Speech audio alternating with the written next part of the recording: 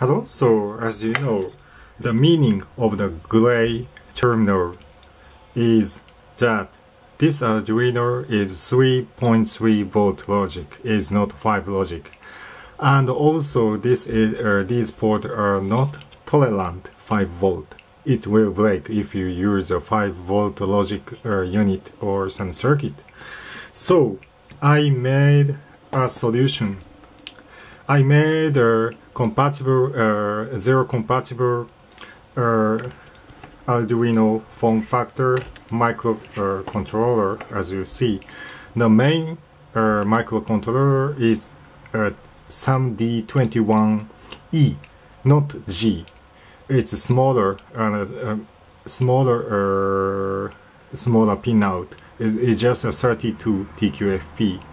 In the case of Zero, it is a 48 pin, but the basic spec is the same 32 kilobyte SRAM and 256 kilobyte uh, flash memory inside.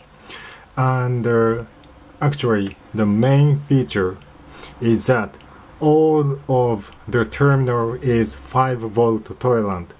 This is because I prepare the level shifter 3.3 to 5 volt level shifter for each terminals consisting of resistor and Zener diode.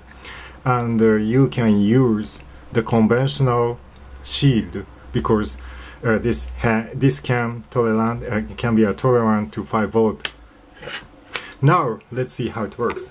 Actually it's Arduino is the same so uh, let's check by using some blink test connecting four diode LED to D10, D11, D12, D13 and ground.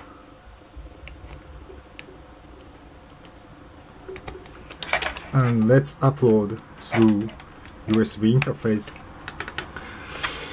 Now on the computer this board is recognized as Arduino Zero. Now I will upload the binary uh,